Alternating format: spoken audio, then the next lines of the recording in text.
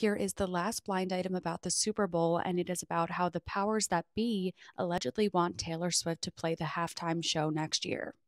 And just a reminder, all of the rest of the daily blind items will be posted to my backup account, which is at celebrityblinds underscore. So make sure you're following me there for all of the new content.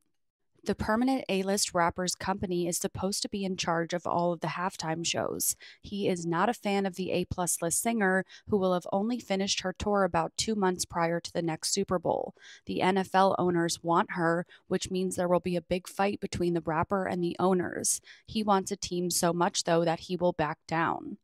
And again, this is allegedly Jay Z, Roc Nation, and Taylor Swift. And the related headline reads How Roc Nation Made the Super Bowl Halftime Show More Inclusive. The NFL recently announced that eight time Grammy Award winning singer Usher will headline the 2024 Super Bowl halftime show. This show will mark the fifth year that Roc Nation has collaborated with the NFL as their live music entertainment strategists. The partnership was created to nurture and strengthen community through music and is part of the NFL's Inspire Change program.